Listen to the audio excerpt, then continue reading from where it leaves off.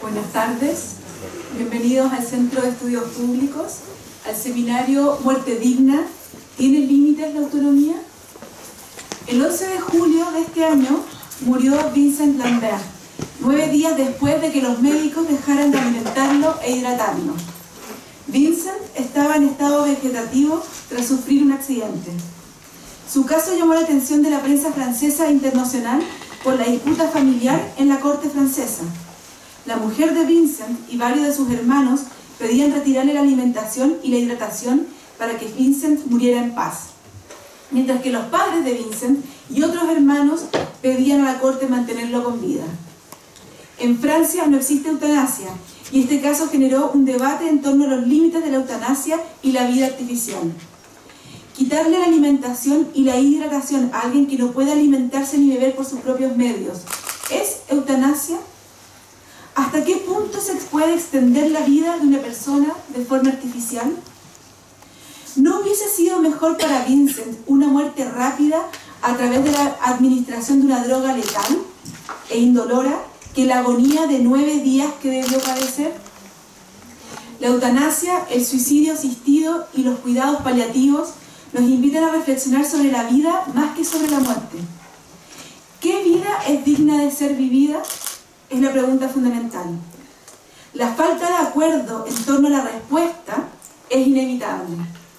De ahí que el debate se concentra en quién tiene derecho a decidir sobre este asunto. Para conversar sobre esto hemos invitado a Alejandra Carrasco, académica de la Facultad de Filosofía de la Pontificia Universidad Católica, y a Hernán Neira, académico de la Facultad de Filosofía de la Universidad de Santiago. Pero el debate sobre la vida y la muerte no es solo un debate de ideas, este afecta la vida de las personas. ¿Cuáles son los padecimientos de los enfermos? ¿Cuáles son sus razones para no querer seguir viviendo? ¿Y cómo la medicina aborda sus necesidades? De eso nos va a hablar el médico y académico de la Pontificia Universidad Católica, Pedro Emilio Pérez. Les quiero dar las gracias a los invitados por estar acá y también quiero darle las gracias a Lucas Sierra que conmigo armamos este seminario. Dejo con ustedes entonces a Alejandra Carrasco.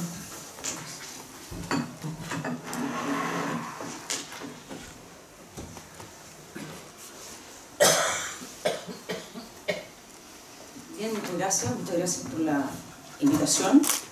Y eh, bueno, el tema de este seminario, como estaba, como estaba eh, anunciado, ¿no? muerte digna tiene límite en la autonomía. O sea, la autonomía es el tema, eh, a ver, ¿cómo esto? ¿Está, ¿A dónde? se pasa?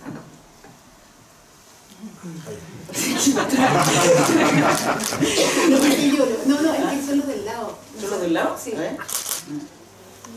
Ay, perdón. La sí. Eh, apuntando al computador. No, no funciona. Ah, Bueno, en todo caso, como tengo solo 20 minutos, esas son la- las preguntas. Partimos de ahora, partimos de ahora. Partimos de ahora, ok, bueno, tiene límite. ah, Entonces, estas son las preguntas, más o menos, que estaban ah, convocándonos, ¿no? ¿Qué tienen en común y en qué se diferencian? Eutanasia, suicidio asistido, cuidados paliativos. Son los tres asuntos de autonomía, son los tres asuntos de compasión, esa la inventé yo, y quién decide qué vida es digna de ser vivida.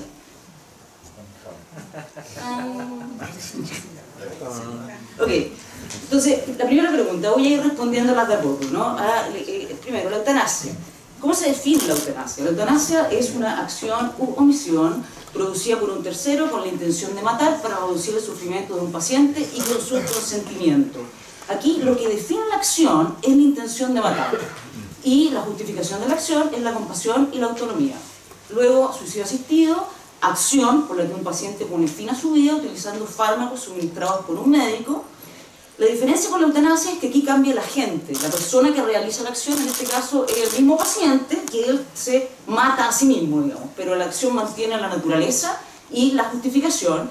Y los cuidados paliativos, a mí me parece que es un tema distinto, o sea, es una acción distinta, digamos, es un enfoque terapéutico interdisciplinario que mejora la calidad de vida de los pacientes y sus familias cuando hay una enfermedad grave e incurable, busca prevenir y aliviar el sufrimiento del paciente. lado. Vale. ¿ah? Esto es como para poder verlo temporalmente, porque esto es importante, digamos, tener una idea temporal. ¿no? Una cosa es la muerte natural. La eutanasia y el suicidio asistido lo que buscan es adelantar ese momento. El ensañamiento terapéutico, que es un concepto, es una práctica que también sería interesante conversar el, en el diálogo, digamos, porque lo de Vincent Lambert puede haber tenido que ver más con esto, lo que busca es atrasar la muerte, prolongar artificialmente la vida.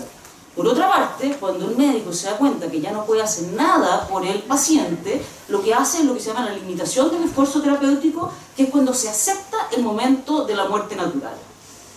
Ahora, veamos la segunda pregunta. ¿Qué tienen en común la eutanasia, el suicidio asistido los cuidados paliativos y en qué se distinguen? Me parece a mí que lo que tienen en común es que son distintos modos de enfrentar y de lidiar con las dificultades propias del fin de la vida.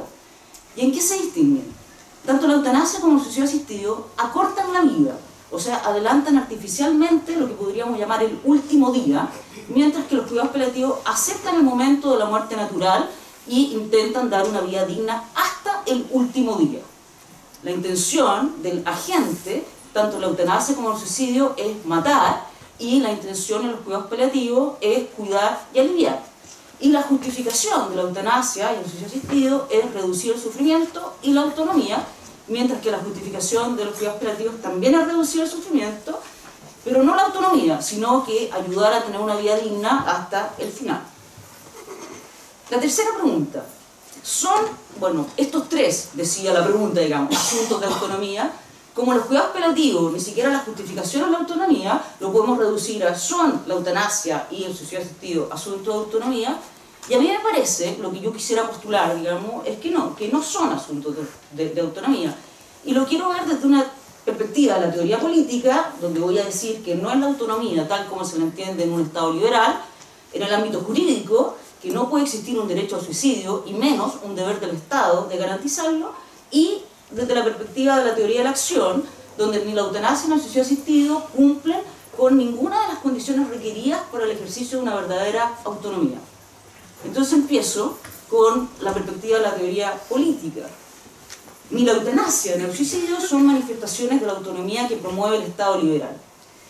El liberalismo clásico, ya esto me estoy refiriendo a Adam Smith, Kant, John Stuart Mill, establece que existan fuertes reglas de justicia que protejan la esfera de libertad o de autonomía de cada individuo, de modo que todos tengan igual derecho a desarrollar su propio proyecto de vida del modo que lo estime conveniente. Entonces, son tres los valores que aquí están coimplicados, ¿no? La justicia, la igualdad y la libertad.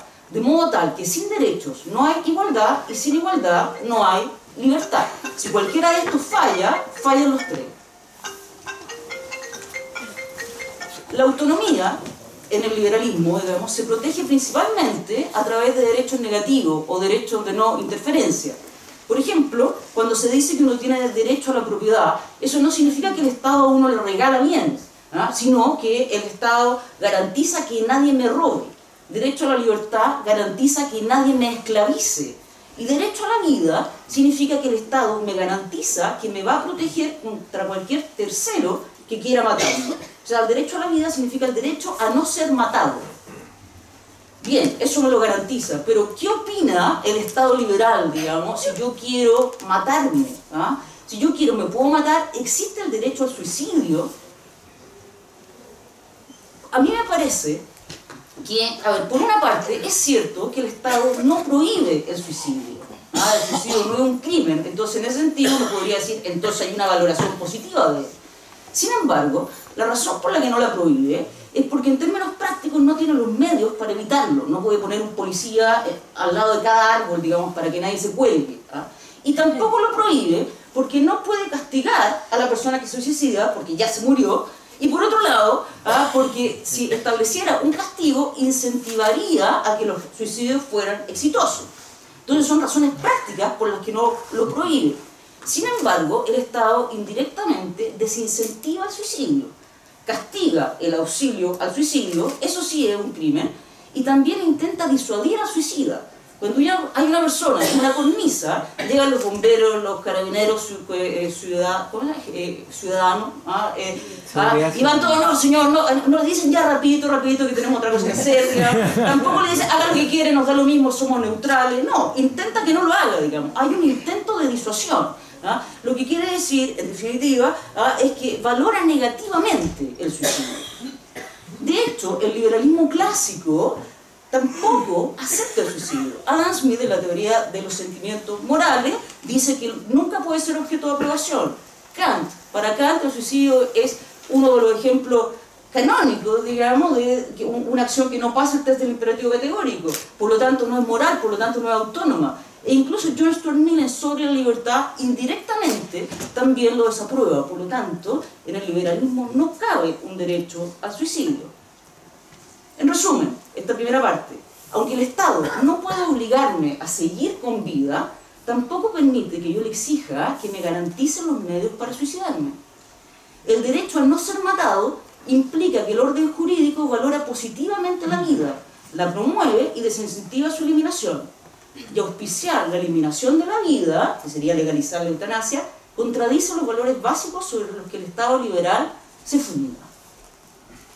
Desde la perspectiva jurídica ahora, no garantizar el derecho al suicidio no atenta contra la autonomía. ¿Por qué? Porque la vida no es un derecho que se puede ejercer matándose. Hay derechos que uno puede ejercer de un modo o de otro. El derecho a asociación, por ejemplo. Yo lo ejerzo, yo puedo asociarme o no asociarme. Yo soy libre. Ah, el derecho, la libertad de expresión. Ah, yo lo ejerzo cuando hablo y también cuando decido callarme. Pero la vida es distinta.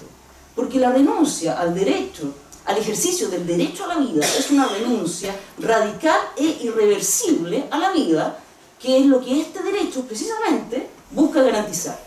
O sea, no es como yo tengo derecho a voto, pero en esta elección no quiero ir a votar. No es eso, sino que yo renuncio para siempre de la posibilidad de votar. Eso sería como la renuncia al derecho a la vida. Entonces se extendería la autonomía hasta su destrucción, lo cual es contradictorio. Por lo tanto, garantizar condiciones para el suicidio atenta contra la autonomía. Por otro lado, también existen muchos derechos irrenunciables, no es solamente a la vida, ¿ah? esto no es una cuestión ad hoc. ¿ah? Los derechos irrenunciables son así porque definen al titular del derecho. Si se renuncia a ellos, se pierde la igualdad que el Estado busca tutelar. Ejemplos del liberalismo clásico. Kant, ¿ah? no se puede renunciar a la igualdad. Mill, no se puede renunciar a la libertad. No hay libertad para esclavizarse. Ejemplos contemporáneos. El Estado no permite que el trabajador renuncie a los feriados obligatorios. El Estado no permite que se renuncie al derecho a no ser torturado, por ejemplo. O sea, hay derechos irrenunciables.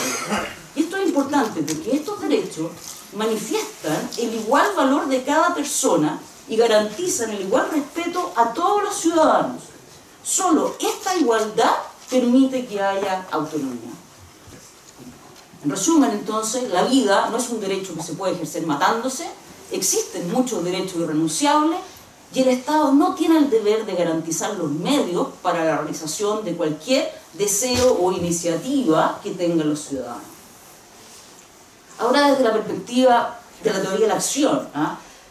para que una autonomía sea verdadera autonomía se tienen que cumplir ciertas condiciones, básicamente tres. ¿ah? que proceda de una decisión informada, o sea, que mi decisión realmente sea informada, que proceda de un principio intrínseco, desde mí misma, libre de presiones externas, y que sea una autonomía igual para todos, no que la mayor libertad de uno vulnere la libertad de otro.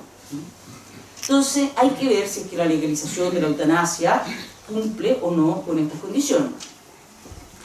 Primera condición, que la decisión sea informada. Bueno, los dos factores que más influyen en la solicitud de la eutanasia y el suicidio asistido son la condición médica del paciente y el impacto que no solicitarla tiene sobre su familia y sus cercanos. Por lo tanto, la comunicación y la transmisión de información entre el médico y el paciente y la familia y el paciente es crucial. Aquí dos profesores, Rodrigo Harrison y Francisco Silva, en un paper muy reciente, modelaron matemáticamente esta interacción y flujo de información médico-paciente, familia-paciente, y concluyen en este paper que si se legalizan o cuando se legalizan en los países, digamos, en que eso está legalizado, los estados americanos que está legalizado, ¿qué pasa? La información necesariamente es incompleta. lo que hace particularmente susceptible al paciente de la influencia del médico y de la familia. Por otro lado, el paciente no hace lo que él quiere hacer, sino lo que él interpreta que quiere su familia, que ni siquiera es necesariamente lo que la familia de verdad quiere, sino que es como él interpreta el mensaje. Por otro lado, también se daña la confianza en el médico, porque claro, el paciente intenta como descubrir mensajes ocultos ¿ah? en la información que el médico le está dando sobre su pronóstico de vida. Entonces, estos dos profesores, utilizando herramientas de teoría microeconómica, concluyen que la legalización de la eutanasia y el suicidio asistido hace que el paciente esté en peores condiciones respecto de la cantidad de información relevante para tomar una decisión autónoma. O sea, la información suficiente, la información necesaria para una verdadera autonomía no está presente. La segunda eh, condición para la verdadera autonomía es que la decisión sea realmente del paciente, digamos, que proceda de un principio intrínseco. En el suicidio tradicional eso está claro, digamos, la gente toma la decisión y lo hace, perfecto. Pero en la eutanasia y el suicidio asistido se requiere la aprobación del médico y toda la mediación de la institucionalidad jurídica y sanitaria. Por ejemplo, si el paciente quiere morir, pero no cumple con los requisitos que exige la ley o con los protocolos de los hospitales o los comités de ética, no se realiza la eutanasia. Si el paciente quiere morir, pero el médico no, no se realiza la eutanasia. Por lo tanto, no basta la voluntad del paciente para la realización de la eutanasia o el suicidio asistido. Entonces, no es su autonomía la que verdaderamente se honra con esta práctica. Y que no esté influido por presiones. Bueno, acá también es complicado, porque una de las principales razones para solicitar la eutanasia eh, es no querer ser una carga para la familia. Como los cuidados paliativos son caros, los pobres van a ser los primeros en querer morir para no consumir el dinero familiar. También las personas con menor red de apoyo, los socialmente vulnerables, quieren morir cuanto antes para no sentirse más solos y más sobrantes. O sea, la mera legalización o despenalización de la eutanasia o el suicidio asistido ejerce una presión sobre los pacientes en un momento de gran vulnerabilidad. Una presión desigual entre las personas, afectando más a quienes tienen menos recursos. La última condición es que, fuera, que sea una igual autonomía. Bueno, esto, por una parte, el derecho a la eutanasia implica que el Estado tiene el deber de proporcionarla. O sea, a los médicos se les va a imponer realizarla. Y ahí ya no hay, ellos no son autónomos para decir que no. Pero lo más importante que me parece esto es, es una opción, no una obligación. El que quiere que la tome, el que no, no. Bien, pero el problema es que basta que esté legalizada para que se convierta en una obligación de planteársela uno necesariamente, basta que sea legal para que uno diga, pucha, ¿y si lo hago? Y para evitar ser una carga para la familia y la sociedad, la opción se empieza a volver cada vez un poquito y un poquito más obligatoria. Se empieza a considerar como una especie de sacrificio heroico, un acto de generosidad, y que si no lo hace, es egoísmo en la salud pública, es cosa de imaginarse, digamos, ¿ah? la presión por liberar camas. ¿ah? O sea, si ya la gente ah, se hospitaliza en los pasillos, si hay eutanasia, bueno, esa gente, esos viejitos que no terminan y no terminan de morirse adentro, digamos, pero señor, ¿está seguro que no quieren? En la salud privada, ¿ah? claro, la ISAPRE, esto es una idea que a mí se me ocurrió, pero wow, me imagino que no es demasiado creativa, van a crear los planes con cuidados paliativos y sin cuidados paliativos. ¿ah? Y el precio va a ser que la mayoría contrate el que es sin cuidados paliativos, que obviamente va a ser más barato. ¿ah? Entonces, ¿qué pasa al final de la vida cuando necesito los cuidados paliativos? La eutanasia legal o despenalizada desincentiva la inversión en cuidado paliativo universal y eso a su vez los mantiene altos los costos. O sea, en el fondo el sistema entero comienza a presionar a los más vulnerables. Porque si se legaliza o despenaliza, ¿quién va a solicitar la muerte?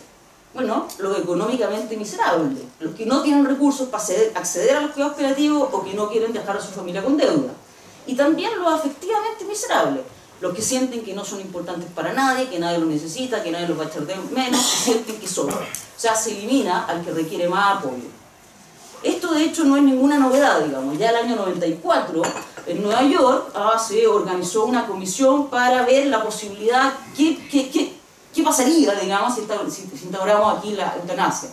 Y lo que concluyó es que los peligros excederían ampliamente cualquier beneficio posible la legalización del suicidio asistido y la eutanasia sería profundamente peligrosa para muchos individuos que están enfermos y son vulnerables, los riesgos serían aún más severos para los ancianos, los pobres y los socialmente miserables. Entonces, a la pregunta, ¿la eutanasia, el suicidio asistido son asuntos de autonomía? Mi impresión es que no, que no son asuntos de autonomía, ni desde la perspectiva de la teoría política, ni jurídica, ni de la teoría de la acción. La legalización estas prácticas no solo atenta contra la autonomía, sino que también implica una política altamente inigualitaria y regresiva. Pregunta 4. Igual voy terminando. ¿ah? ¿ah? Bueno, entonces son asuntos de compasión. Bueno, ¿qué es la compasión? Ah, la compasión es un acto del amor. Y amar es querer el bien del otro. El bien del enfermo es curarlo. Y si no se lo puede curar, bueno, al menos aliviarlo. Pero obviamente su bien no es eliminarlo. Otra parte, casi nadie pide la eutanasia por tener un dolor insoportable. La gente la pide por miedo, cansancio, deseo de controlar la muerte, porque sienten que su vida así no tiene sentido, que son una carga que sobra. Entonces la verdadera compasión lleva a cuidados paliativos integrales, médicos, psicológicos, etc. Morir dignamente es sentir que su vida vale, que su vida importa hasta el final. De hecho, se da una paradoja ¿ah? en la eutanasia, digamos. Porque si la compasión, evitar el sufrimiento, es lo que justifica la eutanasia, ¿por qué tenemos compasión de quien puede dar su consentimiento y no nos compadecemos de quien no puede dar su consentimiento? ¿Por qué el sufrimiento de los incapaces vale menos que el de los capaces? O sea, si la compasión es la que justifica la eutanasia, no cabe la autonomía. Pero si la autonomía es la que justifica la eutanasia, ¿por qué solo vale cuando tengo un dolor insoportable? ¿por qué no es válida mi voluntad ahora, en que no tengo un dolor, pero igual me apetece morir? Entonces, si la autonomía es la que la justifica, la compasión es la que no cabe. Ok, la última pregunta que es la más difícil. ¿Quién decide qué vida es digna de ser vivida? Bueno, esta, es la pregunta, esta es la pregunta más difícil y yo creo que es una pregunta que no todos la tenemos que responder, porque la primera pregunta es otra. La primera pregunta es, ¿Existen vidas que no merezcan ser vividas? ¿Hay vidas menos dignas, con menos valor que otras? Solo quien responde que sí, debe entonces responder quién decide cuál merece y cuál no merece ser vivida. Y debe también reconocer que ese sí implica que no existe igualdad de todas las personas, que no todos somos iguales, y por lo tanto que el Estado no tiene la obligación de garantizar esa igualdad para garantizar la libertad de todos. Y ya ahora termino. Porque la verdad es que en la vida, en la realidad, en el mundo, sí nos encontramos con personas que dicen, yo siento que mi vida ya no vale la pena, yo me quiero morir, por favor, ayúdame a morir. O sea, eso ah, lo, lo, vemos en la tele, lo podemos haber visto en nuestra familia, en cualquier parte, digamos, en, en la calle, ¿no? ¿Qué le decimos a esa gente? Porque eso, es verdad, eso no es mentira, digamos. Bueno, yo creo que hay dos respuestas posibles. La primera dice, a ver, tú sientes que tu vida ya no vale la pena. Yo también lo creo. También pienso que tu vida ya no vale la pena. Que de algún modo estás de más, que es mejor que desaparezca. Por lo tanto, apoyo la legalización de la eutanasia que tú estás pidiendo. ¿Mm? O sea, uno puede sentir de su propia vida, yo no puedo sentir de la vida ajena, digamos. O sea, del otro yo puedo pensar que la verdad es que su vida ya no vale. Esa es una respuesta. Y la otra respuesta, tú sientes que tu vida ya no vale la pena. Yo pienso que te puedo ayudar. Si es que no te puedo curar, al menos sí aliviar, apoyar, acompañar con terapias médicas, psicológicas y sociales para ti y para tu familia, para que tus últimos días sean lo mejor posible. Por lo tanto, no apoyo la legalización de la eutanasia, sí apoyo los cuidados paliativos universales. Es algo eso es muchísimo más costoso, pero a mí me parece que esa es la verdadera compasión con el sufrimiento y el verdadero respeto a una igual dignidad de todos.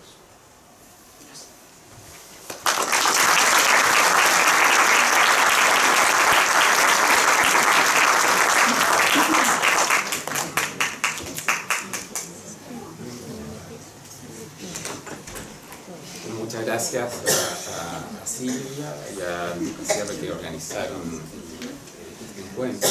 Yo también al profesor Ernesto Rodríguez, yo fui alumno hace tanto tiempo ya en un curso de, lectura de poetas, creo que se llama en la Universidad Católica. Em, Bueno, vamos a, continuar entonces con este arduo tema que es el, de la eutanasia.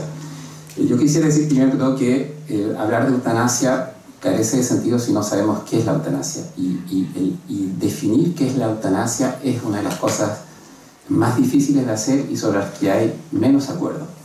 Eh, por lo tanto, mantener una postura general sobre la eutanasia sin haber definido previamente qué se entiende por eutanasia, qué entendemos filosóficamente y eventualmente qué se entiende legalmente por eutanasia, que no es lo mismo, eh, estábamos, o estaríamos hablando de manera, digamos, insuficiente. Eh, por lo tanto, voy a, quiero comenzar con una práctica común de filosofía que es tratar de esbozar algunas definiciones. Eh, y, yo quisiera en estas definiciones comenzar oponiendo la eutanasia a la cacotanasia. Eutanasia sabemos que viene del, del prefijo eu, que significa feliz, agradable.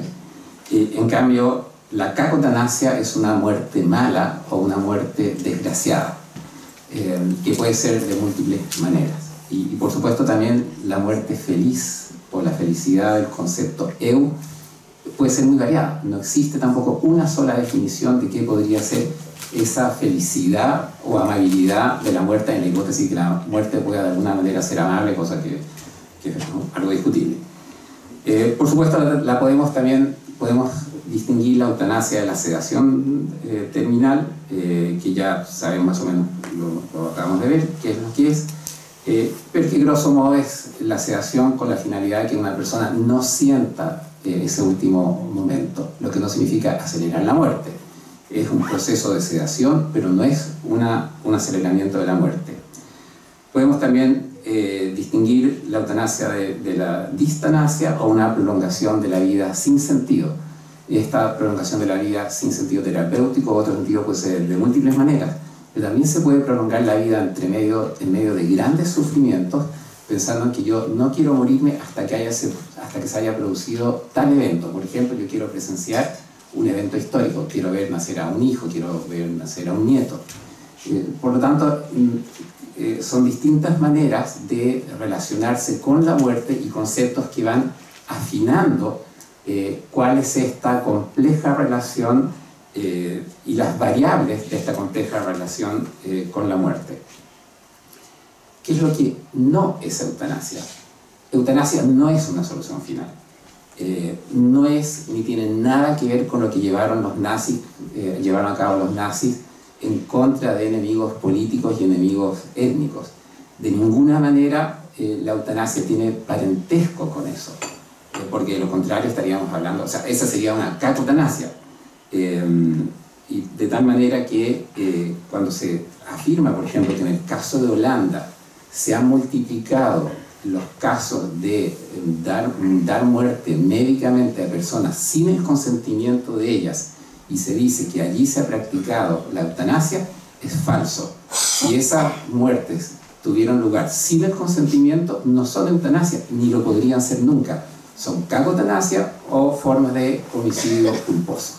Si, si nosotros eliminamos por desviación por exceso, o sea, el acto de la participación de la persona que va a morir eh, en la decisión que le va a concernir, evidentemente no estamos hablando de eutanasia. Nunca podríamos decir que, que, que, esa desviación que parece que sí existe en Holanda, al parecer habría un incremento del 0,8% de muertes sin consentimiento del total de aproximadamente 150.000 muertes al año que se producen en Holanda, bueno, habría un 0,8% que, donde podría haber una participación médica sin que esté claro el consentimiento de, de las personas que van a morir. Evidentemente eso no es eutanasia. Los casos holandeses de eutanasia en el año 2016 eran 6.000 y en esos casos no hay ni uno donde se haya podido probar que no había consentimiento. Por lo tanto, estamos separando el aspecto criminal donde puede participar un médico del aspecto de eutanasia donde puede participar un médico. Son dos cosas completamente distintas que no deben ser mezcladas. Cuando hablamos de Holanda, no se puede mezclar todo en un mismo paquete y hay que distinguir. Eh, y están los datos, afortunadamente, la Asociación Médica Holandesa, datos del gobierno, etcétera, etcétera. Bueno, decía que la felicidad en la muerte tiene que ver con la eutanasia. Pero ¿qué es esta felicidad? Si nosotros nos remitimos a algunos autores clásicos, Aristóteles por ejemplo, entiende que la felicidad supone la participación no solamente en los asuntos privados, sino también en los asuntos públicos. Por lo tanto, podemos considerar que una persona es feliz en la medida en que cuente con esa participación. Por supuesto, esa sola participación no basta. Aristóteles incluye la salud también, y la, amistad, y cierta fortuna como condiciones para la felicidad. Eh, cierta fortuna financiera, quiero decir. Eh, de tal manera que, eh, que los componentes de la, de la felicidad son complejos, son múltiples, y en todo caso no tiene nada que ver con estar alegre. Y quiero recordar aquí una película de Fassbinder del año 1980 que fue traducido, el título traducido al castellano como La angustia corroe el alma. En esta película, Emi, que es una viuda ya mayor, conoce a Ali, que es un inmigrante turco. Eh, estos dos personajes son pobres, son tremendamente pobres y uno podríamos decir que son feos si lo comparamos con algunos actores, por ejemplo, de Hollywood. Pero Fassbinder afortunadamente no era de Hollywood, puso estos dos personajes feos que, tienen, que inician una relación en oposición, primero que todo, a todo el edificio, el edificio que vive. Es una alemana que inicia una relación sentimental con un eh, turco que tiene ciertos aspectos de negro. O sea, todo mal.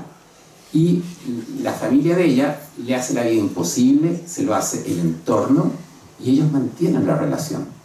Y se, podemos suponer que ellos son felices en esta lucha fuerte e intensa que tienen para mantener este vínculo en medio de una fuerte oposición social. Por lo tanto, eh, el concepto de felicidad no es uno, y el concepto de felicidad es complejo. Por lo tanto, cuando hablamos de eutanasia, no podemos suponer tampoco que la eutanasia sea la misma para todos, porque la felicidad y cómo participa una persona en la muerte es distinta para cada cual, y uno podrá no participar y uno podrá participar de una u otra manera, pero no es una regla fija que se pueda preestablecer. Eh, ¿Que esto plantea problemas? Muchos. Eh, y para entrar en una cosa bastante concreta, vamos nuevamente a Holanda. En Holanda, en el año 2018, hubo un caso de, donde la comisión que revisa los casos de eutanasia, en Holanda se revisa ex post, la, la eutanasia si fue practicada debidamente o no, eh, hay un, juicio iniciado por lo siguiente, una mujer de 74 años había, había pedido eutanasia, si se cumplían ciertas condiciones. Llegaba el momento, esta persona tiene semiconciencia, esta persona se le da un café con un, con un medicamento, primero entiende que es un sedante, para después darle lo que corresponde para que muera. Esta persona, que había expresado formalmente con cierta solemnidad su, su voluntad, da signos de agitación, especialmente moviendo los brazos. Eh, la doctora que, que, está a cargo del proceso continúa con el proceso y la familia también ayuda a calmarla. Pero eh, se inicia el juicio posteriormente porque se entiende que ese movimiento de los brazos era un desestimiento de su expresión inicial. Eh, con lo cual quiero decir que, que cualquiera sea la, la, solución, si es que la hay, el caso es complejo. Y que el, que el procedimiento de asentimiento y expresión formal, como el cual sea el proceso de desestimiento, son pequeñas, eh, diría yo, técnicas legales que tienen una infinita eh, importancia eh, para poder hablar de eutanasia, porque de lo contrario estamos hablando de procesos en los cuales no hay eutanasia.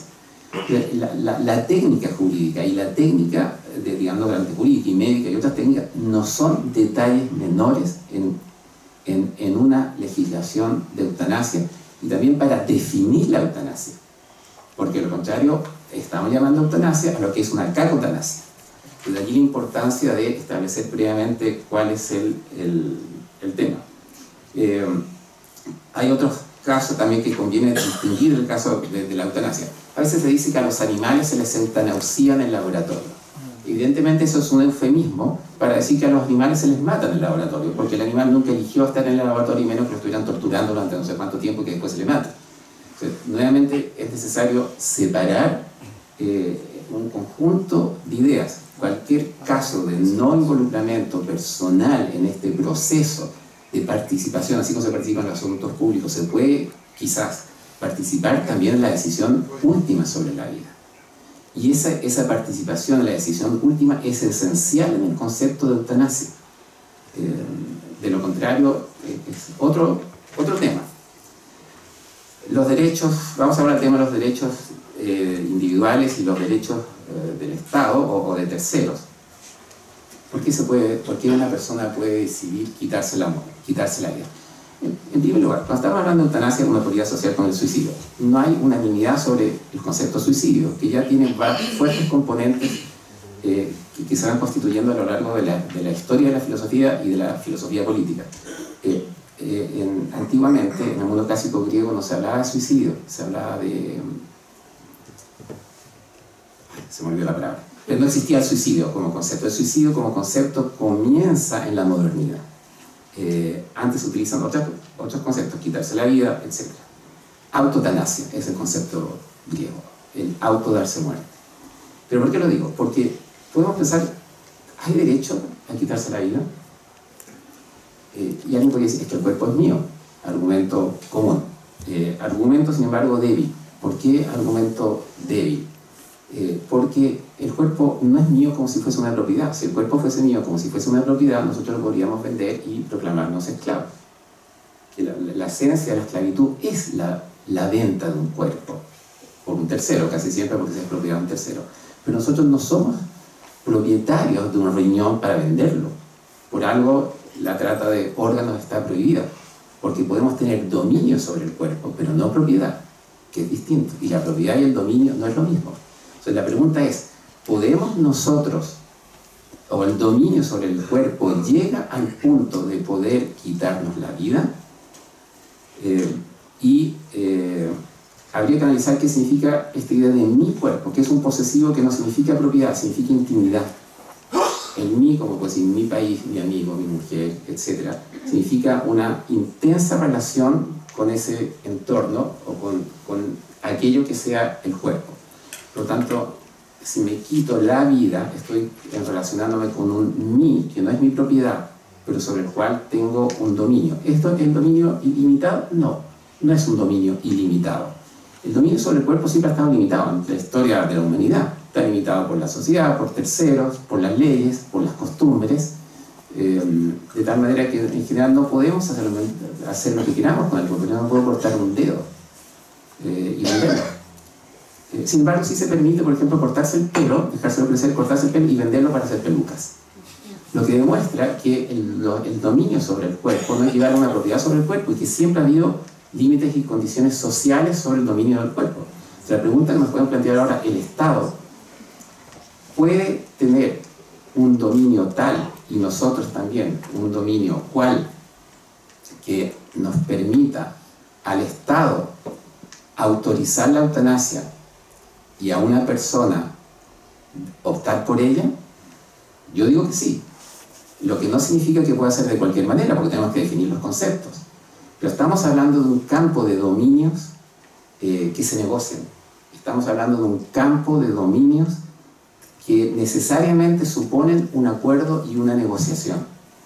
Eh, y ese acuerdo y esa negociación eh, no es una decisión individual, el campo y los límites de la negociación tienen que estar establecidos previamente, previamente por el orden que corresponda en un Estado que nosotros suponemos que está legítimamente gobernado. Por supuesto, es una condición indispensable hablar de eutanasia, que se define en un país que suponemos que no está legítimamente gobernado o que no hay eh, un poder legislativo legítimo, evidentemente tampoco estamos hablando de eutanasia.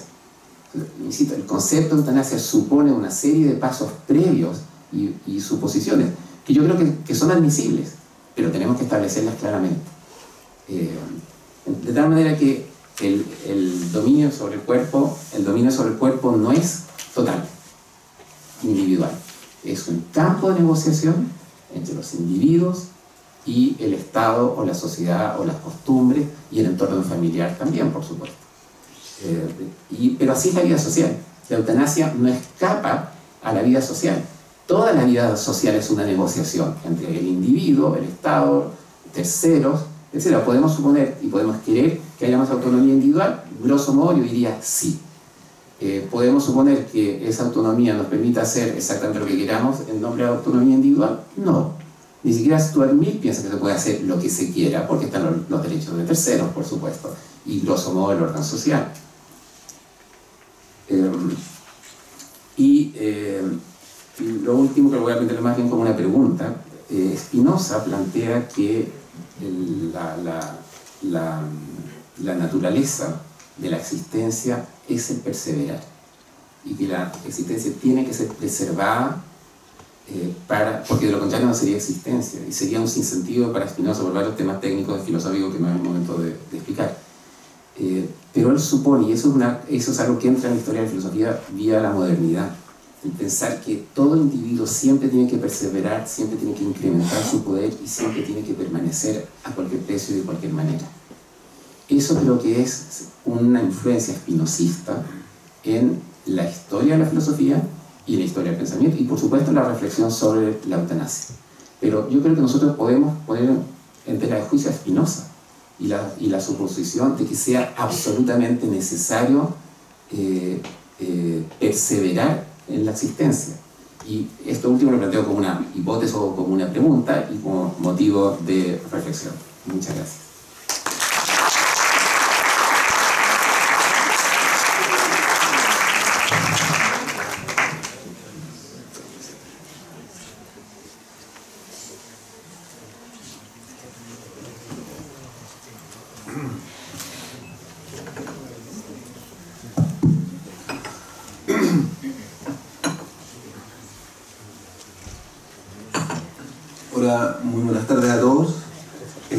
Silvia por la invitación y a Alejandra y Hernán por la presentación que hicieron.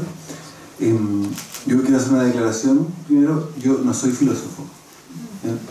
yo soy médico y mi formación es más bien empírica.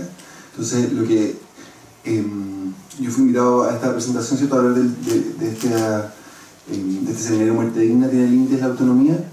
Y yo la verdad es que voy a agregar un título que son eh, elementos para ampliar la mirada sobre el final de la vida. La verdad es que quiero compartir un poco eh, cuál es la, eh, qué es lo que se sabe respecto al final de la vida, de manera bien general, y voy a tratar de compartir con ustedes también algunos datos de lo que ocurre con el final de la vida aquí en nuestro país. Que eso pueda iluminar la discusión filosófica que me parece que es tremendamente rica y interesante. Esta es una foto de una película 2001 dice en el espacio, es bien chistoso, yo cuando pongo esta diapositiva a los alumnos de eh, primero o segundo año de universidad, nadie sabe de qué película estoy hablando.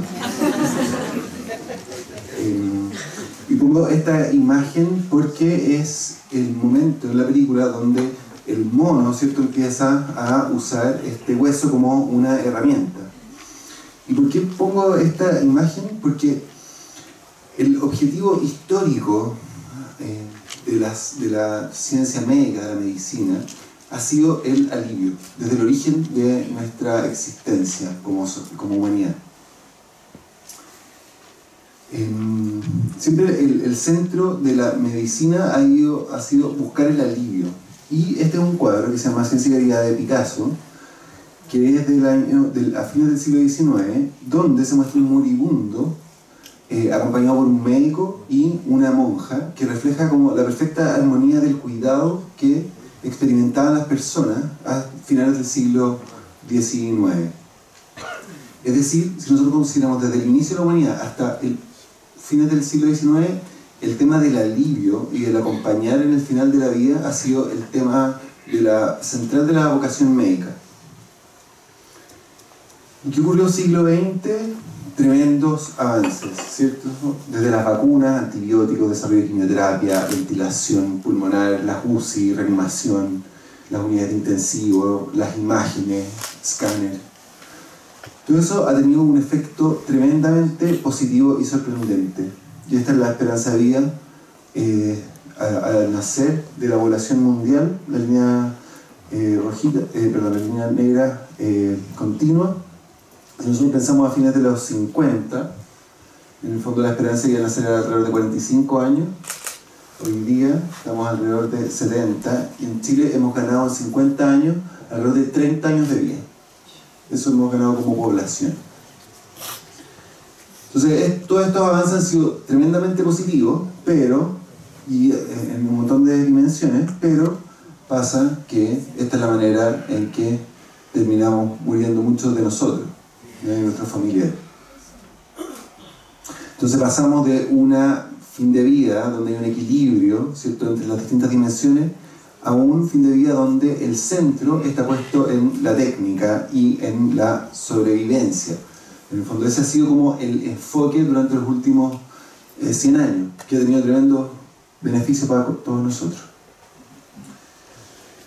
Este es un gráfico que me interesa que, le ponga atención al, lado derecho, al lado derecho, es, son las trayectorias de las enfermedades durante los últimos meses o años de vida. La primera es cáncer, la segunda son todos los pacientes que tienen insuficiencia, donde se pueden fijar cuando los pacientes con cáncer tienen una vida relativamente estable en, términos de funcionalidad. Estos son gráficos función versus tiempo. Entonces la función es bastante buena hasta que empieza el deterioro y finalmente los pacientes fallecen. Después vienen los pacientes con insuficiencia, insuficiencia cardíaca, hepático crónico, enfermedad pulmonar, donde hay un deterioro progresivo de la funcionalidad hasta que finalmente el paciente fallece. El tercero acá son los pacientes con demencia, que tienen un deterioro progresivo, ya lentamente progresivo que dura años, hasta que finalmente los pacientes fallecen. Si se fijan, todas, en estos casos, en todos estos casos, las trayectorias de las enfermedades son prolongadas. Es decir, no nos morimos de un momento a otro, sino que en el fondo nos enfermamos, nos vamos deteriorando funcionalmente y finalmente fallecemos. Voy a decir una cosa que nos puede asustar. El 75% de nosotros nos vamos a morir de alguna de estas tres maneras. Eso es lo que se nos viene a todos.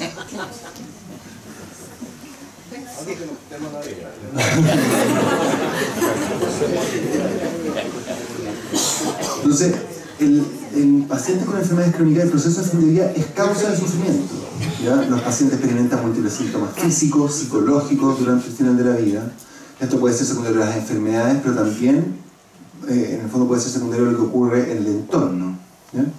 También hay elevados gastos de salud por hospitalizaciones o tratamiento datos de, eh, de, pacientes que fallecen en Estados Unidos dicen que alrededor del 30% de los gastos, del gasto de salud ocurre durante los últimos seis meses de vida.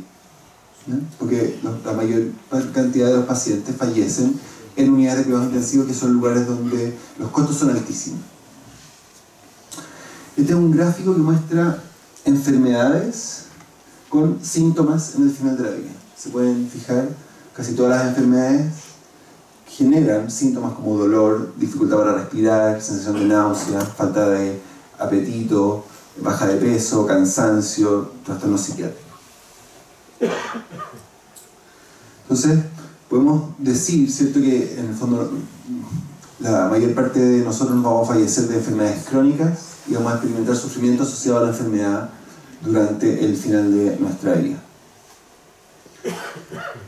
Ahora, ¿qué pasa con el deseo de morir, en el fondo? ¿Es esto frecuente? ¿Qué, en qué consiste? Y voy a compartir con ustedes algunos datos de, em, de publicaciones que son resúmenes em, que se presentaron en el Congreso Europeo de Cuidados Paliativos del año 2018 en Suiza, en que me tocó, que me tocó participar como, como asistente. Entonces, lo primero es que hay el, hay una publicación hace poquito, del año 2018, ¿cierto? que se llama que un consenso sobre el definición respecto al deseo de adelantar la muerte. Y aquí está este concepto que el WTHD, el Wish to Hasten Death, que en el fondo el deseo de adelantar la muerte, se entiende como una reacción al sufrimiento en el contexto de una enfermedad terminal por la cual el paciente no puede ver otra alternativa que acelerar su muerte. Y este deseo que, se, que las, las pacientes a veces manifiestan es distinto del deseo de, pucha, tengo ganas de morir porque estoy cansado, pero no necesariamente quiero que se me acelere la muerte, sino que es como, en el fondo, cuando uno, pienso cuando uno está en una cola eterna, la pucha, ojalá que se apure la, la cola, pero en el fondo y esto debe distinguirse también del deseo de aceptar la muerte pronto. Y esto surge debido a la presencia de los siguientes factores, ya sea síntomas físicos, malestar psicológico, sufrimiento existencial o aspectos sociales. O sea, se entiende que esto es una reacción normal al sufrimiento. Y quiero compartir con ustedes un par de artículos, que es que em, esto ocurre ¿cierto? con cierta frecuencia, y este es un estudio en Suiza, en donde se entrevistó a residentes de eh, casas de adultos mayores, ¿cierto? Y se les preguntó a, a todos en el fondo si tenían algún deseo de morir, y como un 10% manifestaron efectivamente que tenían un deseo de morir. Pero lo que es interesante es que la mayoría de los deseos son deseos de muerte pasivos y eso se distingue, ¿cierto? Deseo de muerte activo, es decir, ¿sabes que quiero que me maten? O sé que en realidad quiero que este sufrimiento se acabe, pero no necesariamente que me maten. Y se identificaron algunos determinantes que incluían, por ejemplo, la, la presencia de depresión, de demoralización, de ansiedad, de síntomas físicos, sufrimiento espiritual. Es decir, hay un montón de factores que influyen o que se asocian a que los pacientes experimenten estos deseos de muerte pasiva. Y se hizo en un estudio también cualitativo, otro estudio, que un estudio cualitativo donde se entrevistó a pacientes con cáncer y no cáncer, y su familia y profesionales, y se hizo como, como algún consenso acerca de, de, de, este fenómeno del final del deseo de solicitar eh, la muerte. Esas son algunas de las, de las, eh, de las conclusiones que me parecen que son relevantes para la discusión. Uno es que la ambivalencia es frecuente en quienes manifiestan el deseo de morir, aunque en algunos casos es estable, pero es frecuente la ambivalencia. Por lo tanto, no se puede evaluar al paciente solo una vez. Y cuando el paciente desea o manifiesta deseos de muerte, la clave es tratar de aproximarse a las causas en el fondo. Muchas veces la manifestación del deseo de muerte es una manifestación indirecta de experiencia de sufrimiento.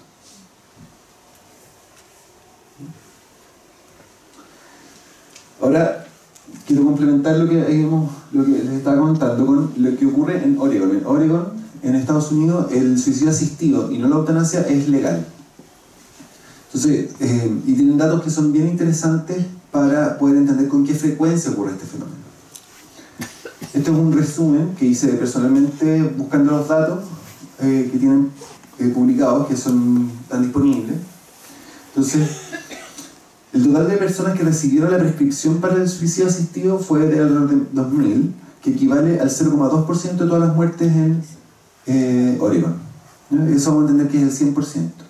De ese 100%, el 65% más o menos eh, eh, finalmente ejecutaron y fallecieron producto del de suicidarse. Es decir, un tercio más o menos no se suicida.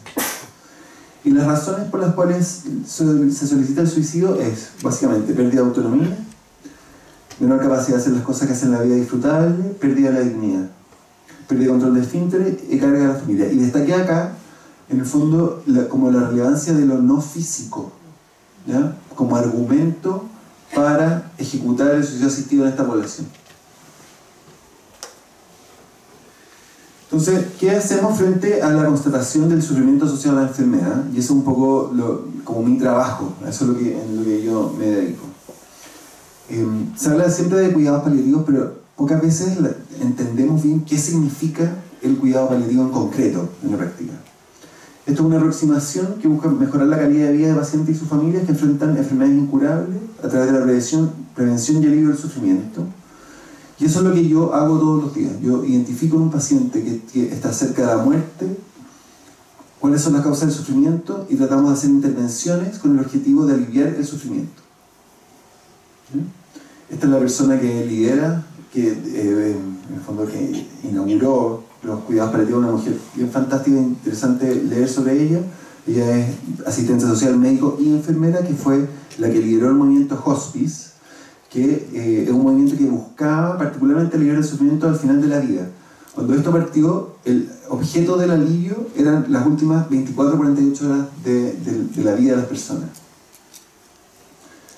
Entonces, el cuidado paliativo busca cuando se originó el movimiento hospice, en el fondo lo que trataba de hacer era aliviar el sufrimiento, que es en el fondo toda, esta, esta magnitud, ¿cierto? en el momento del final de la muerte.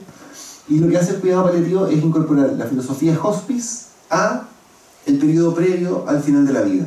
Fondo, hoy día los cuidados paliativos, el llamado es a la incorporación precoz, es decir, el momento del diagnóstico de una enfermedad terminal. Y esto puede ser meses o incluso años antes de que el paciente fallezca.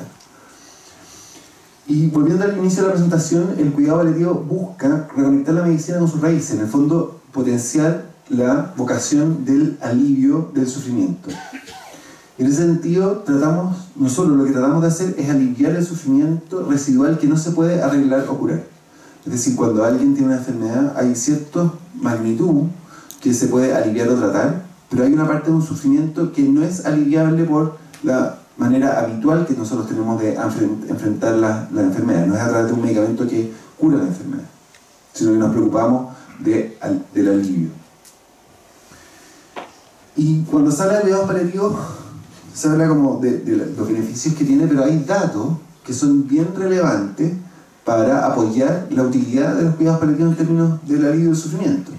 Este, pongo este artículo porque es un icono en, nuestra, la historia del desarrollo de cuidados paliativos donde lo que se hace es a una población de pacientes con cáncer avanzado, un cáncer de pulmón avanzado que estaba con enfermedad metastásica, se les eh, randomiza a dos intervenciones, que es cuidados paliativos precoces versus una derivación estándar.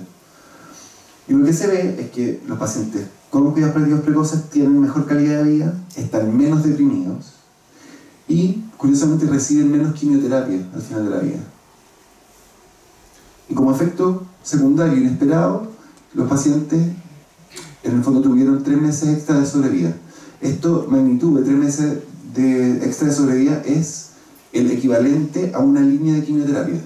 Como decía uno de mis jefes, las farmacéuticas estarían felices de tener una intervención de este tipo. Que en el fondo eso es lo que ellos buscan. Y además, em, si bien los cuidados paliativos en sí son caros, cuando son implementados de manera oportuna, tienen como efecto una disminución en los costos de salud, asociados a salud.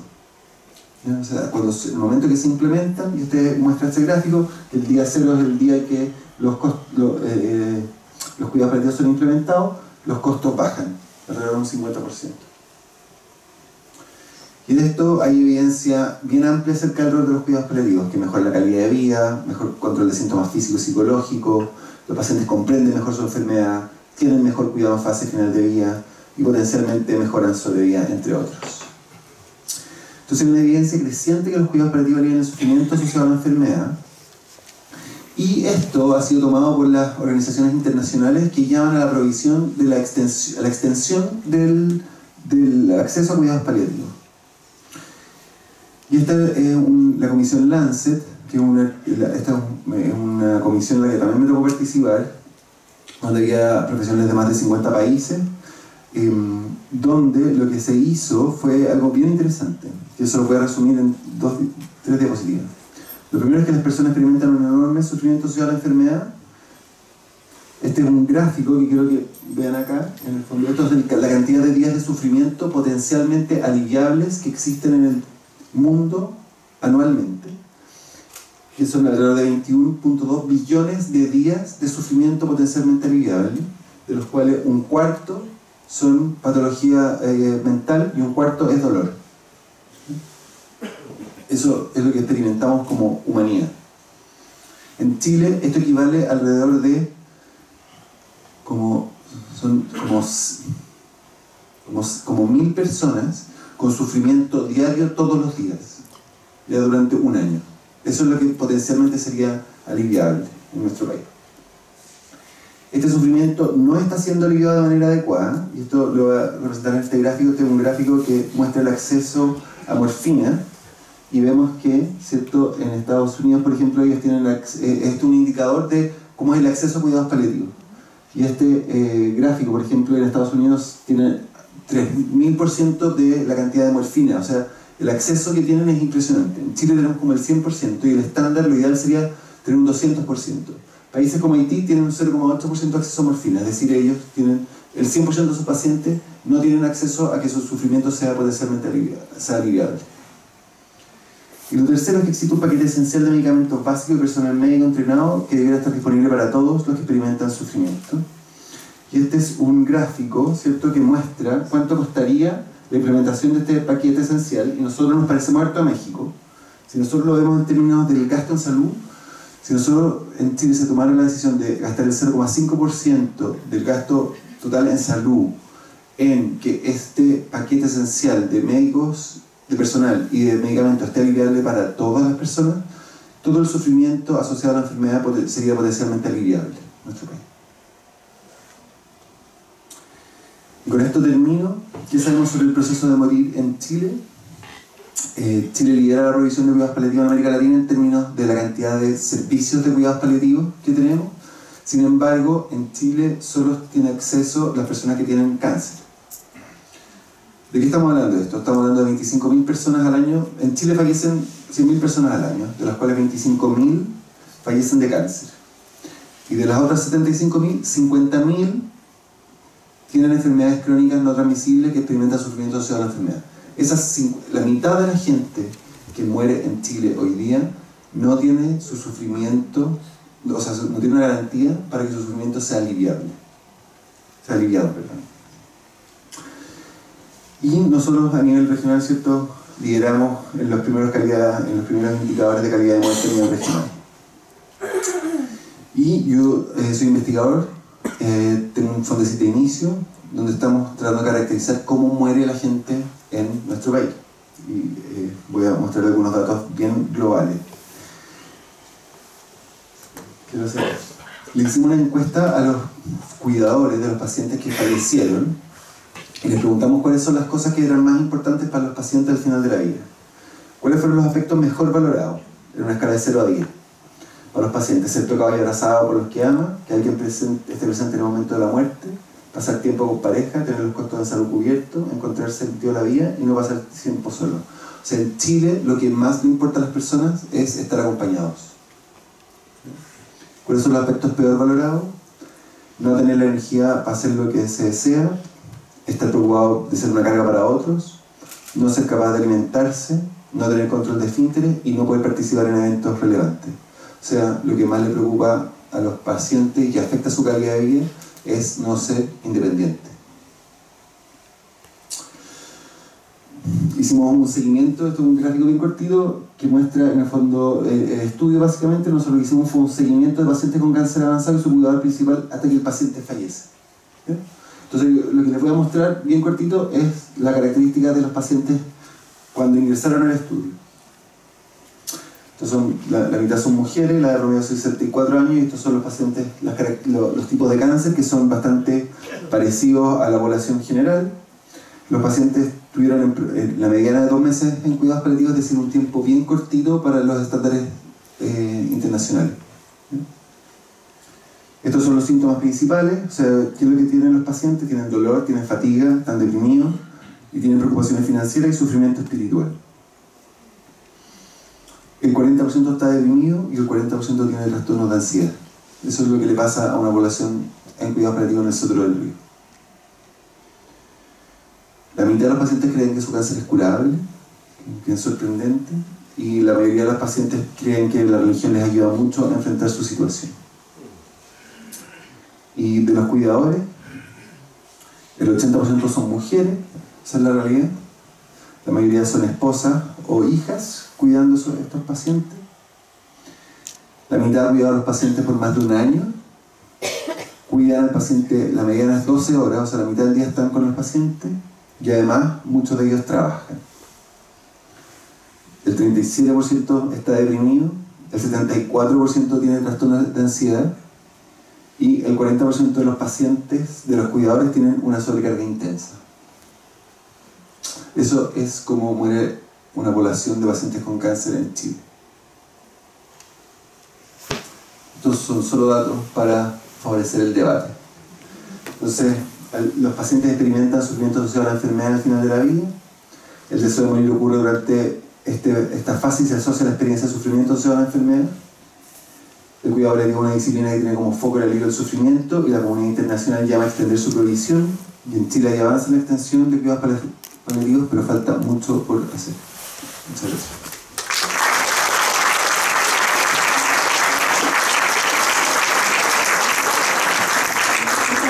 Los panelistas. Vamos a tomar preguntas del público. Vamos a hacer la primera ronda de tres preguntas. Eh, así que levanten la mano los que quieran preguntar.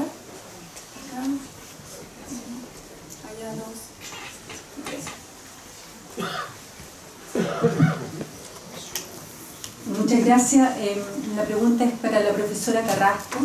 Quería saber qué evidencia tiene para afirmar que las personas que solicitan eutanasia o en general muerte asistida son personas vulnerables y desprotegidas socioeconómicamente porque la evidencia en los países como Holanda y Bélgica apunta en sentido contrario.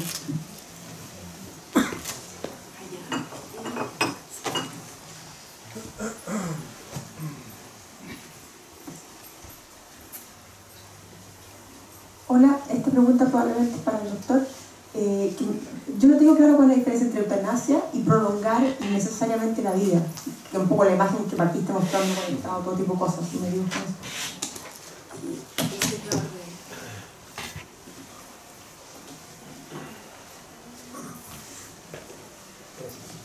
Mi pregunta también para Alejandra Carrasco, respecto a cuando hablas de la opción al momento de, de aprobarse ficticiamente la figura de la eutanasia, habla de que sería la opción principalmente para los más pobres, o los más vulnerables, los más carenciados, tanto emocionalmente como económicamente.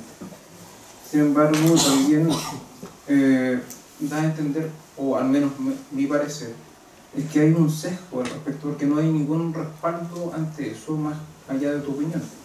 Entonces lo mismo ocurría con la ley de divorcio, que se decía la se va a disolver y hoy en día la familia no se ha disuelto. Entonces, por eso mi inquietud y si puedes como Gracias. Yo voy a agregar otra pregunta eh, para el panel, pero también para Alejandra. Me sorprendió que los ejemplos que tú pusiste, nunca estaba el ejemplo de la persona que está sufriendo un dolor insoportable y que no hay cuidado paliativo que pueda eh, disminuir ese dolor. Ese ejemplo no está. Y la pregunta es, ¿qué significa libertad y qué significa autonomía si no puedo yo disponer de mi propia vida? ¿Soy un esclavo de mi vida? Eso. Eh, si quieres parte por acá, yo mayoría pregunta. No, de, después hacemos otra ronda. Ya, tratando de, eh, de clarificar definiciones. Sí, sí, perdón. Eh, aclarar definiciones. Eh, la eutanasia, hay distintas definiciones, pero la que es como más aceptada es la em, administración de un fármaco con el objetivo de que el paciente fallezca de manera inmediata. Eso es, lo que se entiende como la eutanasia. Hay distinciones de eutanasia activa, pasiva, que confunden el debate, yo creo. Pero como concepto general de eutanasia es la realización de un acto activo con el objetivo de que el paciente fallezca. Otra cosa es la limitación del esfuerzo terapéutico, que es una, una, práctica que nosotros hacemos en la práctica cotidiana, que es, em, de alguna manera, cuando tenemos al paciente en la UCI, y hay otros escenarios también, ¿cierto? Em, médicos, em, nosotros podemos reemplazar muchas veces, muchos de los, del funcionamiento de órganos y podemos mantener a los pacientes con vida de manera artificial. Entonces, la limitación del esfuerzo terapéutico busca ajustar las terapias a, las expectativas razonables de curación. Si tengo un paciente, por ejemplo, con un cáncer de pulmón metastásico que no tiene la capacidad de respirar por sí mismo y lo tengo conectado a un ventilador mecánico, yo a ese paciente lo que estoy haciendo es prolongándole la vida de manera artificial, ¿cierto? Sin tener una expectativa clara que el paciente pueda volver a respirar por sí mismo. Entonces, en esos casos, la limitación del esfuerzo es la suspensión de ese tipo de medidas con el objetivo de facilitar que el paciente fallezca. Eso no es eutanasia, eso es una limitación del esfuerzo terapéutico y eso es una práctica que se hace de manera regular en todos los hospitales de este país. Tengo 20 minutos. ok, eh, a ver, voy a partir por, por, la, por, al menos la tuya porque las otras dos son parecidas, así que las voy a juntar en una. Eh, dolor insoportable. Eh, las causas por las que la gente pide, la, hay una cosa que se llama el ABC de la eutanasia, ah, eso en los papers aparece, ¿no? La, las causas por las que la gente pide la, eutanasia, esto en, en, Holanda, donde se hacen estos estudios, se llama el ABC, porque la primera causa es afraid, ¿ah? miedo a la muerte, burnout, ¿ah? que está burnout, ¿ah? control death, A, a veces por eso, ¿no? Depression. Y recién la quinta es dolor.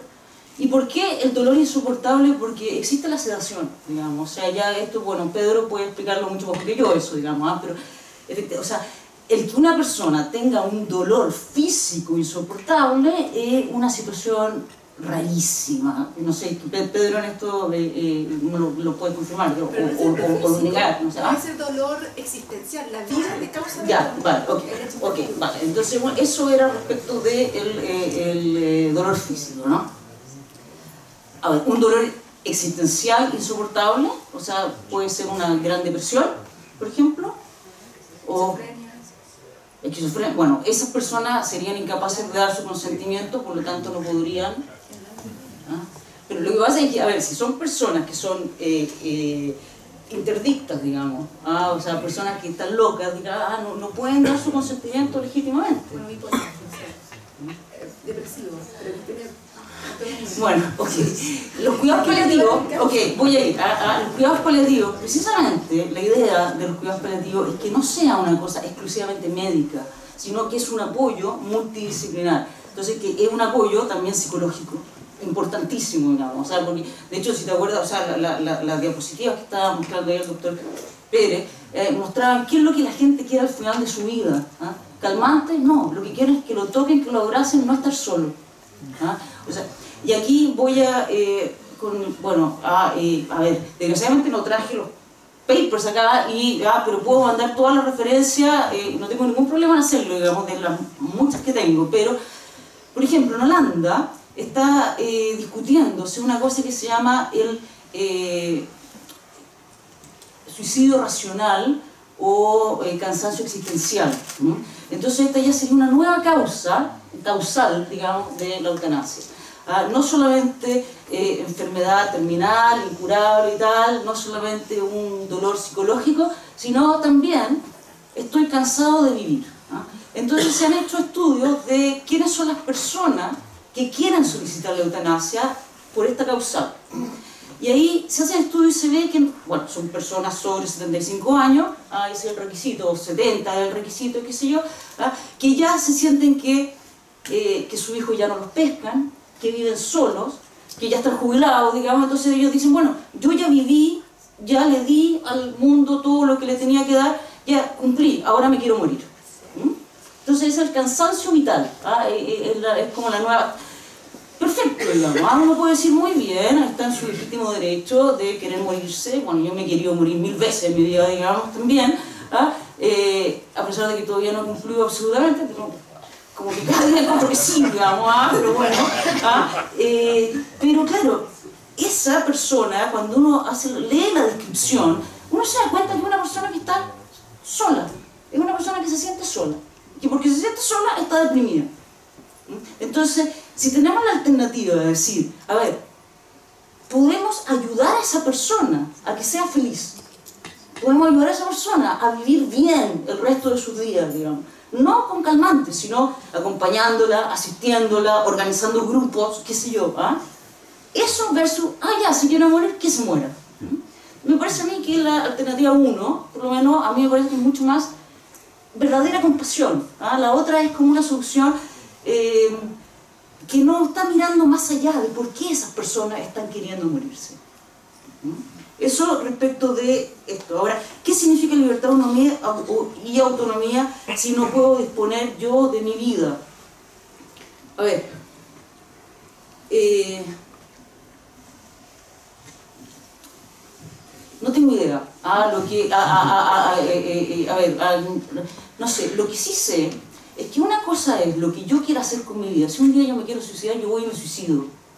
Pero otra cosa es que yo le exija al Estado que me dé los medios para que yo lo haga. Creo que esa parte ¿ah? es la que el Estado no debería hacerlo. ¿ah? No debería hacerlo, porque una cosa es que yo sienta que mi vida ya no vale nada, digamos, que yo sienta que me quiera morir, que yo... Y eso, ah, bueno, le pasa a muchas personas muchas veces, por desgracia, digamos, ah, y muchas personas terminan suicidándose. Pero otra cosa es que exista un pensamiento, que la gente de verdad crea que hay vidas que ya no valen la pena. que es esa convicción racional. Contra esa es contra la que yo, esa es la- aquella contra la que yo estoy en desacuerdo. ¿Mm? Esa convicción racional. Hay vidas que ya no valen la pena.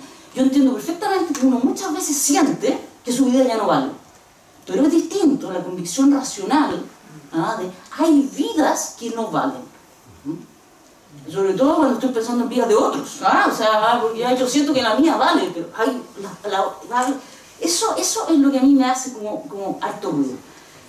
Después, el asunto de qué evidencias tengo de que los más pobres y qué sé yo. Bueno, desgraciadamente aquí no tengo los papers, insisto, ¿no? Pero el, el, el, eh, eh, en el PowerPoint mostré el New York eh, Task Force del 1994. Ellos decían ahí, ¿ah? o sea, esto, el peligro más grande es para los más vulnerables, para los viejitos, para los ancianos, para los pobres, ¿ah? para los eh, socialmente vulnerables. Luego, Chile no es súper comparable a Holanda y Bélgica, ¿ah? porque nuestro sistema de salud es bastante distinto. Aquí hay cuidados paliativos para la gente con cáncer, punto final. ¿ah? En otros países, los cuidados paliativos, en esos países, digamos, ¿ah? los cuidados paliativos tienen un acceso un poco más eh, amplio. ¿no? Entonces, en Chile en concreto, si se legaliza la eutanasia, ¿ah? las personas que van a pedir la eutanasia probablemente son las que no tienen plata para los cuidados paliativos. Los cuidados paliativos ah, hay que pagarlos, digamos. O sea, eh, entonces, en, en ese sentido, no, no es que yo tenga una evidencia de lo que pasó en Chile, porque en Chile todavía no ha pasado, pero creo que algo perfectamente proyectable. ¿Mm? Eh, y la opción no obligación, perdón que me tome tanto tiempo, pero me hicieron muchas preguntas juntas. ¿ah? La opción no obligación, eh, de hecho es una idea que la saqué de ah, literatura española. ¿ah? O sea, en la literatura española es donde se, está, es do- donde se ha planteado este tema, pero a mí me parece bastante razonable, digamos. O sea, porque claro, eh, simplemente es cosa de, ponerse los zapatos, ¿no? Una cosa simpatética. ¿ah? Ponerse los zapatos de ah, una familia pobre, ah, donde, no sé, al, al- al, eh, papá, digamos, de esta familia eh, eh, le, le da un cáncer y entonces, claro, la posibilidad que tiene es gastar todos los ahorros de toda la vida en su tratamiento o, pucha, ya mi hijo ya está grande, él puede seguir manteniendo la familia y tal, ya, mira, mejor, o sea, si yo igual me voy a morir, ¿ah? entre morirme habiendo gastado todo y morirme hoy, mejor me muero hoy. O sea, me parece que es una cuestión bastante como pensable, me parece, digamos, razonable. Sí, el, el, el- el argumento del cansancio vital como causa de la eutanasia fue desestimado por el gobierno holandés. El gobierno holandés decidió no tomar ninguna iniciativa al respecto, si no, no incluye ni quiere incluir el cansancio vital como causal de eutanasia. Es una decisión que es clarísima, esta es la decisión tomada, está publicada por el ministro de Justicia, etcétera, etcétera. Por lo tanto, ese campo, digamos, puede ser sacado, porque Pero en Suiza tengo entendido que se puede. Puede ser, pero en Suiza lo que es, eh, hay suicidio asistido, que no es lo mismo que eutanasia. Sí, pero las causales, o sea, que en, en- en el fondo, cuando el asunto- o sea, si ya se está discutiendo es porque es algo que a muchas personas le parece razonable. Habiendo libertad de discusión, yo creo que todo el mundo puede discutir lo que Sí, desee. El no, gobierno sabrá, el gobierno sabrá si lo toma para legislar o no. Yo creo que son, son, son temas distintos y creo que efectivamente es otro campo. Por eso que, que es importante ir, ir definiendo. Ahora, eh, el, el tema de los pobres es un tema complejo, pero yo pregunto si los pobres no se tiran al metro más bien, cuando, si no tienen acceso a la eutanasia. Si los pobres no se tiran al metro simplemente, o desde un edificio alto. Hay formas baratas de morir, muy eficaces. Eh, eh, entonces, yo creo que efectivamente los cuidados paliativos sí requieren un desarrollo enorme, eh, incluyendo la legalización de la, de la marihuana con fines medicinales, que es un- uno de los puntos, digamos, delicados, porque hay medicamentos que no hacen el mismo efecto que la marihuana, y todos los medicamentos, todos los sedantes, todos tienen efectos secundarios, dejan a la persona más o menos atontada, la dejan incapaz. Por lo tanto, se puede aliviar el dolor, pero la incapacidad de la voluntad y la, y la pérdida de capacidad cognitiva es enorme con los sedantes. Eh, por lo tanto, no es inocuo. Y los conflictos con los cuidados paliativos. Si podemos aliviar el dolor, y efectivamente el alivio de la compañía es esencial. Yo eso no lo pongo no lo pongo en duda. Pero creo que, que una cosa es una discusión sobre la eutanasia y otra sobre los cuidados paliativos. ¿Que tienen algunos componentes comunes? Sí, los tienen, por supuesto. O sea, donde se tocan, no tienen eh, componentes comunes, pero se tocan. Eh, ahora, podríamos tener los cuidados paliativos más maravillosos del mundo. Eh, la pérdida de capacidad cognitiva y el atontamiento global de una persona que está consciente va a seguir siendo cierta, hasta que se invente algo nuevo, de momento no se puede inventar. entonces, ese es un aspecto. ahora, yo creo que el, tema del componente social también es un tema, pero tendríamos que saber los datos, cómo mueren las personas más pobres.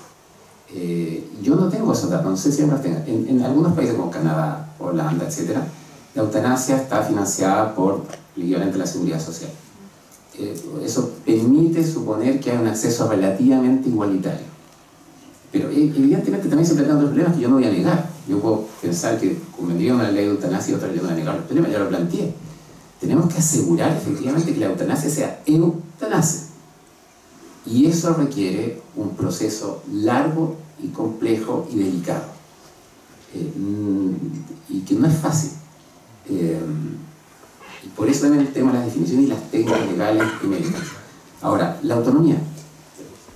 30 segundos. La autonomía autonomía absoluta no ha existido, ni siquiera Kant pretende que haya autonomía. La autonomía para Kant es un fenómeno que necesitamos suponer, pero él afirma explícitamente que nunca vamos a probar que exista autonomía, porque lo que nosotros vemos en el mundo son situaciones de causas y efectos y relaciones, personas que influyen en otras, sociedades que influyen en personas, personas que influyen en la sociedad, etc. Pero una autonomía pura y total no existe, lo dice Kant. Y Mille en otros términos viene a decir lo mismo. Entonces, eh, sin perjuicio de eso, ¿podemos tener dominio sobre el cuerpo? Yo creo que sí, hasta cierto punto, hasta cierto punto y no más. Sí, una última ronda de preguntas. Le voy a pedir preguntas cortitas, breves, directo al grano. Hola, lo que me llama la atención es que no me hablaba nada de las voluntades anticipadas. anticipadas. Nosotros fuimos a una charla se habló sobre las voluntades anticipadas, en la cual uno puede dejar explícitamente escrito, ¿no es cierto?, para que no la no, no, no la prolonguen la vida artificialmente. Y uno lo explicitado, y no lo acá, entonces me llama la atención que es un procedimiento que uno lo puede hacer. Gracias.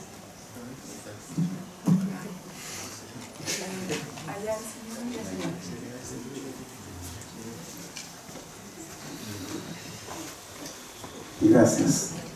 Eh, exactamente, referido al mismo tema.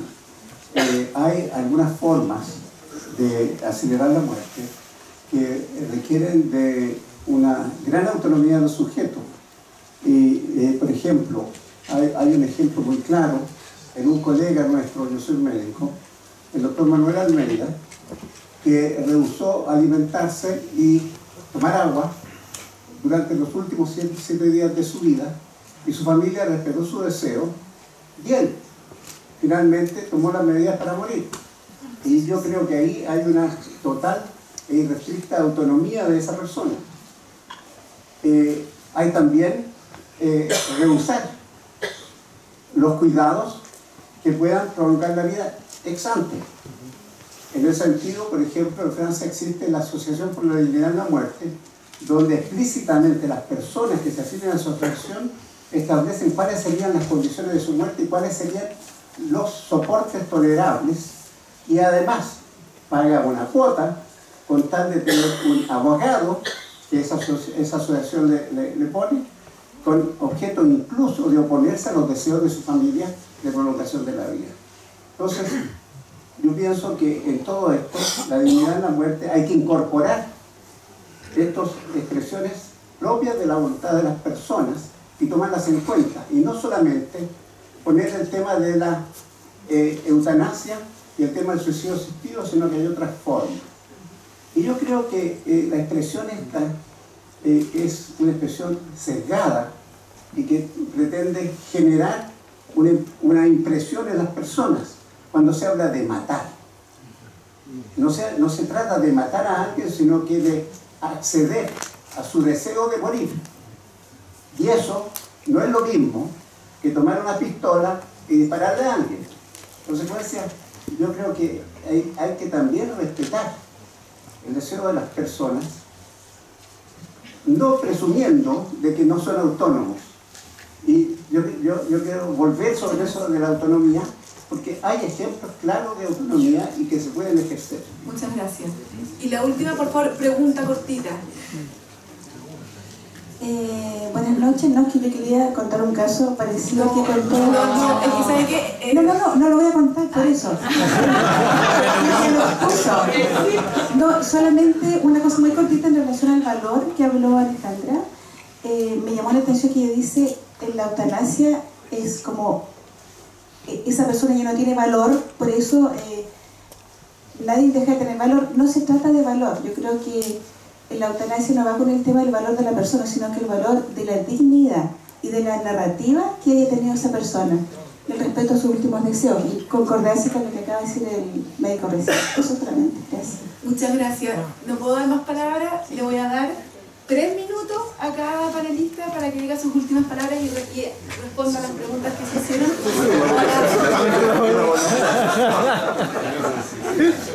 para que podamos salir a tiempo y no lleguen tarde a sus casas. Eh, por...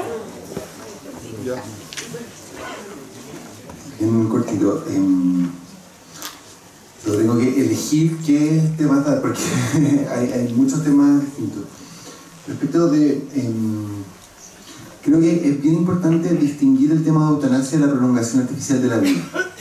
Eso me parece que es un elemento bien clave. Em, prolongar artificialmente la vida es causa de sufrimiento también.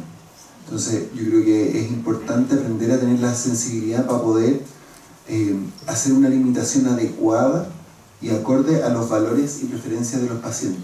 Yo creo que eso hay que ma- mantenerlo, ¿cierto? Em, y la, en el fondo yo creo que la, este encarnizamiento terapéutico genera sufrimiento. Yo creo que no, no estoy por, no, no creo que eso sea lo que todos buscamos, yo- pero es difícil y en ese en ese sentido se necesita cierta práctica para poder hacer las distinciones de cómo la implementación o la suspensión de medidas se, adecuan, se adecúan a las necesidades y a lo que es, es médicamente razonable para un paciente en una condición de una enfermedad. Creo que, que aprender a hacer esa distinción no es tan fácil y tenemos que tratar de incorporarlo en nuestra práctica. Y respecto a las voluntades anticipadas, muy cortito, Suena súper atractivo e interesante la voluntad anticipada, pero hay problemas prácticos que son la dificultad del acceso en el momento de la toma de decisiones y los cambios en las preferencias de las personas. Está muy estudiado y eso es un dato general y eso es un punto que me parece relevante discutir. Estamos todos aquí, o la mayoría, supongo, sanos, discutiendo respecto de una condición en la cual nosotros no estamos experimentando en la. Y está muy estudiado que la valoración de las pérdidas son mucho mayores en las personas sanas que en las personas enfermas. Por ejemplo, si cualquiera de nosotros le podemos, eso se hace en, en, en, en, toma de decisiones en salud pública, si nosotros le pedimos a cada uno de ustedes que cuantifique cuánto cuesta perder un brazo, la valoración que haríamos cada uno de nosotros sería mucho mayor que la valoración que hace una persona que no tiene el brazo, en términos de valor. Entonces, en ese sentido, yo creo que es bien importante tratar de acceder a la información de los, las personas que están en esa situación. Eso como para agregar. Gracias, Fernando. El tema de la voluntad anticipada efectivamente plantea muchos problemas. Uno de ellos es que la persona puede cambiar de opinión, como lo dijo el doctor. Por lo tanto, las voluntades anticipadas no aseguran que la persona, llegada a las circunstancias de, digamos, donde se le vaya, por ejemplo, administrar un fármaco por la intención de acelerar la muerte, vaya a querer lo mismo. Por lo, por lo tanto, eh, y en el caso que está en la justicia holandesa, que es el único caso en años, que tiene que ver con que una persona que había tenido voluntades anticipadas, aparentemente, aparentemente cambia de decisión y agita los brazos. ¿Qué significa agita los brazos? Entramos en un mundo de semiología y muchas cosas más, pero, pero la verdad es que son cosas que también, que también hay que considerar. Eh, por eso insisto en el carácter de eutanasia, eh, y lo cual plantea, plantea, eh, plantea muchas, muchas dificultades. y yo quisiera, para concluir, en realidad, insistir sobre el tema de la participación de la persona. cómo asegurar la participación de la persona, que en mi opinión supone también una amplísima y, facilísima capacidad de retractación. O sea, no porque haya afirmado solemnemente con ocho notarios y 20 testigos que quiere eutanasia, va a querer lo mismo llegado el momento. Eh, entonces, eh, y allí, sin duda, en mi opinión, una debilidad de la ley holandesa, que no, no, no, no prevé la posibilidad de la retractación de manera formal. Otras legislaciones sí lo plantean. Sin embargo, no plantea problema. Personas que deciden acelerar la muerte pensando en que en un año más van a estar incapacitadas de expresarse. Y por lo tanto deciden yo me muero hoy porque mañana no voy a poder, no voy a poder decir nada y por lo tanto me van a dejar conectado 10 años sufriendo. Entonces, todas las alternativas son tremendamente difíciles, todas. Y no hay, en mi opinión, no hay decir, un blanco y negro en el sentido de que vamos a solucionar este tema con cuidado paliativo. No lo vamos a solucionar absolutamente con cuidado paliativo, no sirven de nada. O vamos a tomar opción A, B o C, si nosotros hacemos un poco de comparación entre la, la legislación. Todas las alternativas son tremendamente difíciles son éticamente difíciles, probablemente médicamente difíciles también, filosóficamente difíciles, jurídicamente difíciles también. Esto creo que es un desafío mayor eh, que, tenemos en, la sociedad y que requiere mucha conversación, por yo, digamos, me alegro que estemos aquí conversando y personas que pensamos también cosas distintas quizás, algunas cosas en común y otras no. Entonces no es un tema de, digamos, de, gustos personales, cosas complejas que nos, que nos eh, involucran a todos. Gracias. Eh, siguiendo un poco con, el asunto de las definiciones, ah, eh, la, la, eutanasia, el suicidio asistido, lo que hace es anticipar el momento de la muerte. En cambio, el ensañamiento, empecinamiento terapéutico retrasa artificialmente ese momento y existe el, la limitación del esfuerzo o la adecuación del esfuerzo terapéutico, que es cuando se permite que la persona muera en el momento de su muerte natural. Ahora, muchas veces se confunde y por eso es como difícil. Y mucha gente dice, no, yo estoy de acuerdo con la eutanasia porque no quiero que me entúen, ni me resuciten, ni me vuelvan a resucitar, ta, ta, ta. No, es que eso no es. Ah, o sea, eso es simplemente yo quiero que el médico atine y limite su esfuerzo en el momento que corresponde. Eso no es eutanasia, digamos. O sea, decir, a mí no me entube no me siga entubando, no me vuelva a poner eh, eh, eh antibiótico y tal. No, eso no, eso es simplemente no se ensañe conmigo terapéuticamente. ¿no? Entonces, esto, yo creo que es súper importante tenerlo muy claro a nivel conceptual, porque en los hechos no siempre es tan fácil de distinguir. Hay veces que no es tan fácil de distinguir, digamos, entre qué tratamiento es proporcional y qué tratamiento es útil. ¿ah? A veces no es tan fácil, como acaba de decir el doctor eh, Pérez, eh, pero sin embargo, al menos en términos conceptuales, hay que tenerlo súper claro para saber que, en mi caso, yo ah, no apoyo la eutanasia, por ejemplo, pero sí estoy absolutamente de acuerdo con que se adecue al esfuerzo terapéutico en los momentos eh, en que corresponde. Y aquí como estoy cerrando, voy a cerrar con el principio como si fuera periodista, digamos, y vuelvo a Vincent Lambert, ¿ah? este francés. ¿ah? Pues ese es un caso, por ejemplo, en el que eventualmente ¿ah? Podría uno pensar, bueno, desconectar este gallo, ¿qué es lo que es eso? ¿Es eutanasia o es que estaban eh, ensañados terapéuticamente, manteniéndolo vivo, con respirador, con tal, Entonces, ese, por ejemplo, es un caso en los hechos que, claro, habría que discutirlo ¿ah? para ver qué es lo que es. O sea, no es tan claro que sea uno o el otro. Entonces, eh, es como el ejemplo que quise poner como para mostrar cómo en los hechos no siempre es claro. Sin embargo, es súper importante tenerlo conceptualmente muy claro para poder enfrentarse eh, a los hechos. Muchas gracias. Quiero un aplauso para